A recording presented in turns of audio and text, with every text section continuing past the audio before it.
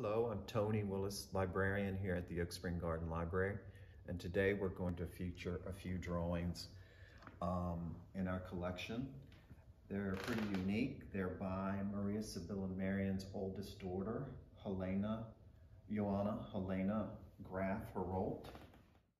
In 1976, they were acquired by uh, Mrs. Mellon from an English dealer as works of uh, on paper by Herman Henstenburgh, who was a fairly um, a prolific artist in northern uh, the Netherlands about this time frame around the 1660s.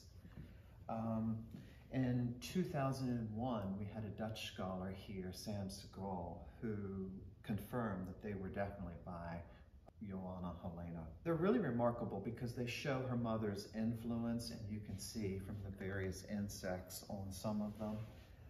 But she was, you know, she was a woman who was um, very much um, influenced by her parents, her mother and her father.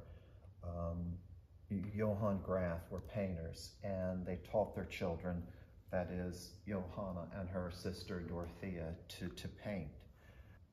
Johanna was born in 1668 in Frankfurt, and um, by 1690 she was working with her mother and sister in a studio in Amsterdam, and it was a very busy time. They were producing drawings like this, but they were also working on Maria Sibylla Merian's Caterpillar book.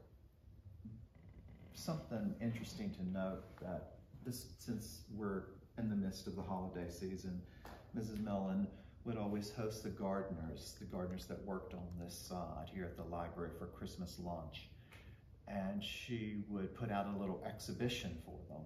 And in particular, she would put these out, um, all of them, on display for the gardeners to enjoy during the holiday season.